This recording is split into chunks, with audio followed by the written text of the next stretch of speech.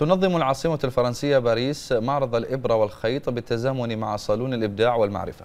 المعرض يشمل الحياكة والنسيج والتطريز بمشاركة العديد من العارضين من مختلف بلدان العالم. التفاصيل في تقرير مراسلتنا في باريس.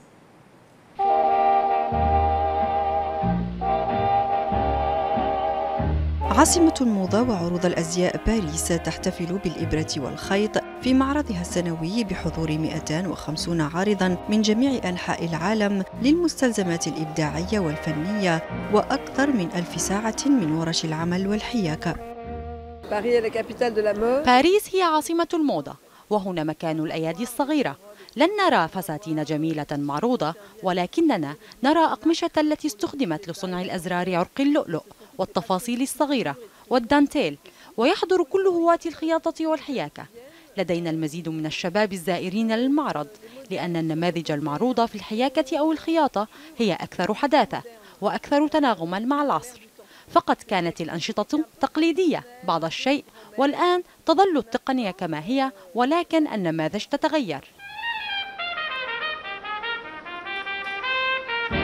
أربعون ألف زائر من هواة الإبداع اليدوي يجدون مصدر إلهام لهم في عروض الخياطة والحياكة والتطريز والكروشيه والنسيج ويستفيدون من التدرب مع محترفين دوليين للاستفادة من التقنيات الجديدة في هذا القطاع.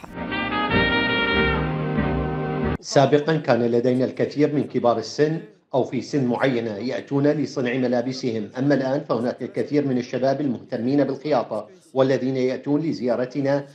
يمكننا الحصول على المساعدة في الخياطة بحيث أن الخياط الذي يريد العمل بقماش موسلين فعليه فقط أن يكتب على الآلة أنه سيستعمل هذا القماش وهنا ستقوم الآلة بنفسها بتعيين نوع الغرز وطول الغرز وشدة الخيط ليس لديه الكثير لفعله. يسرني كثيرا القيام بالخياطة بنفسي. وفي الحقيقة هذا مريح جدا ويدعو للاسترخاء ونجد حتى رجالا يتوجهون لعمل الحياكة أكثر فأكثر. ولإضفاء المتعة إلى المعرض تقام بطولة الحياكة الفرنسية السريعة للسنة السابعة على التوالي ويبقى الهدف هو تشجيع الحرف اليدوية والإبداعات الفنية. يحظى عشاق الحياكة والتطريز بفرصة لمشاركة شغفهم والاستمتاع بالمعروضات الإبداعية في معرض يحرص على المحافظة على هذا النوع من الفن على مدى أجيال. فاطمة بالعيد تلفزيون مملكة البحرين باريس.